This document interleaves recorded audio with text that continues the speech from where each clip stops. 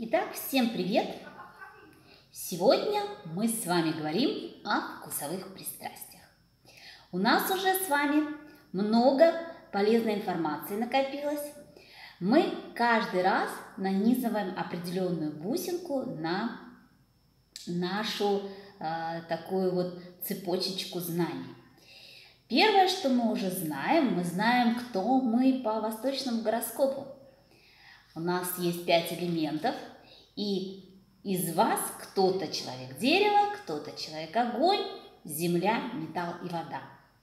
Для чего нам это нужно знать? Потому что на этом строятся все основные следующие знания. Второе, что мы знаем, что э, каждому из вас э, от рождения есть какой-то орган, который в зоне риска. И именно он очень часто является а, причиной той или иной болячки. И вы уже понимаете, что когда встает вопрос лечить а, тот или иной, а, ту или иную проблему, то нужно еще подумать о том, что же вызвало, а, какова причина этой проблемы. Это вы уже тоже вы знаете. И третье, теперь у нас с вами вкусовые пристрастия. Оказывается, действительно очень многие люди думают, что если наш организм что-то хочет, то именно э, нехватка вот этого какого-то продукта, э, его составляющей, обязательно для того, чтобы восполнить что-то в нашем организме. И это, к сожалению, очень частое и большое заблуждение. Как раз все в корне наоборот. Как раз наши вкусовые пристрастия сигналят нам о том, что в том или ином органе у нас есть определенные проблемы. И вкусы точно так же имеют пять элементов. А, вкусы дерева, вкусы огня, вкусы земли, металла и воды. Соответственно, они синергичны часто с нами. То есть люди дерево предпочитают очень часто, особенно если идет в каком-то большом объеме, а чего-то очень много, то это говорит о том, что вот как раз ваш проблемный самый орган нуждается в поддержке. И какие же эти вкусы и а, примерно какие же продукты относятся э, к этим вкусам, мы сейчас немножечко про это и поговорим. Итак, начинаем, как всегда, с элемента дерева, потому что он самый первый э, в нашем, э, в нашем круге усин. Итак, первый элемент дерева. Элемент дерева – это кислый вкус. Я, например, когда смотрю, как едят лимоны, буквально откусывая, как яблоко, у меня все внутри сжимается. Я так не могу. Но некоторые люди считают это вполне нормально и даже очень-очень-очень вкусно. И считают это чем-то таким действительно как такой вкусняшечкой. И э, как раз если поговорить э, с людьми, э, то очень часто э, это люди дерева и их проблемный орган – это элемент печени или желчный. И как раз большое количество вот этих кислых продуктов, оно усиливает эту проблему. Второй у нас вкус, горький вкус, и он относится к элементу огонь. Очень многие любят кофе и не могут от него отказаться. И это как раз сигнал для очень многих, что сердечно-сосудистая система нуждается в поддержке, потому что вы знаете, как влияет кофе на организм, и в первую очередь страдает кровь.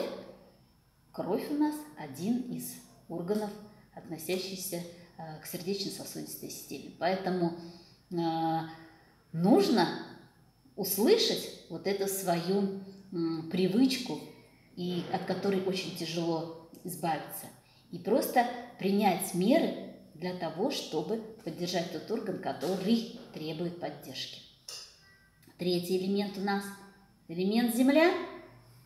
Это самые большие сладкоежки. Пироженки, конфетки, печенюшечки, все самое сладенькое, это любят в большей степени они. И как раз вот это все, когда мы не можем прям вот просто совершенно без этого не можем и чувствуем от этого такой дискомфорт, если ты не съел этого сладкого, то это говорит о том, что органы Земли нуждаются в поддержке. И очень часто именно а, сахарный диабет у людей а, элемента земля. И именно им очень часто свойственно как раз э, изобилие в своем рационе сладких продуктов. Третий, э, следующий элемент – это элемент металл. Какой вкус ему присущ? Ему присущ вкус острый. И это все китайские кухни, это все корейские кухни, это все восточное, где вот это все такое острое, что потом как огнедышащий дракон, да, просто как раз символ какой-то определенной, да, э, китайской мифологии. Так вот, когда идет изобилие этих продуктов, и они очень часто наблюдаются как раз у людей элемента металл, то, конечно же, в первую очередь в них начинает страдать их от рождения проблемный орган. Это легкие и э, кишечник. И, конечно же, осталась вода. Это соленый вкус. Э, человеку элемента вода не понять, как можно заменить соленый огурчик какой-нибудь сладкой конфеткой. Или э, бутерброд с, с красной рыбкой, солененькой, да, малосолененькой и так далее. Или каким-то э, вкусным пирожным. Они, естественно, выберут больше солености.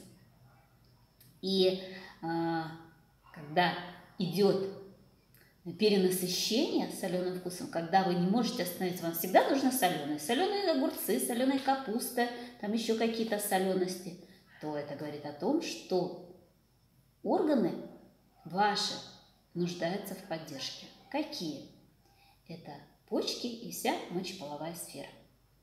Поэтому, зная какие-то такие вещи, нам гораздо проще а, решить многие вопросы со здоровьем. И для чего, в принципе, нужно знать вот эти вкусовые пристрастия? Первое, для того, чтобы, в принципе, быть здоровым, вы об этом а, уже разобрались. Да? Второе, почему это нужно знать? Например, это нужно знать для того, чтобы правильно худеть. Ведь в рационе э, худеющих в основном такие общие диеты, и они совершенно не учитывают вас а, как личность.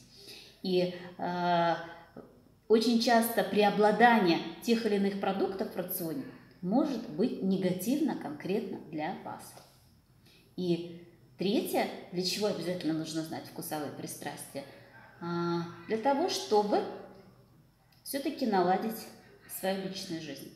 Очень многие люди, к сожалению, а, не могут устроить личную жизнь именно потому, что в их вкусовых пристрастиях очень много продуктов, которые э, делают, например, э, нас, девочек, холодными.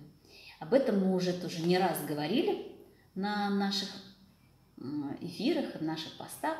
И учитывать этот фактор тоже обязательно. Видите, как много всего интересного нужно понимать для того, чтобы быть здоровым для того, чтобы быть стройным, для того, чтобы быть счастливым. Я надеюсь, что эта информация вы не только э, слушаете, читаете, но и используете себе на благо. И от этого, когда вас получают, вы получаете результаты, мне особо приятно, и я понимаю, что я делаю правильное дело. И хочется также сказать, если кому-то интересна таблица продуктов по пяти элементам, желает получить ее себе а, для личного пользования, а, пишите мне в личку, я вам расскажу, как это можно сделать. А на сегодня все. С вами была Таяна Мастер и до новых встреч. Пока-пока.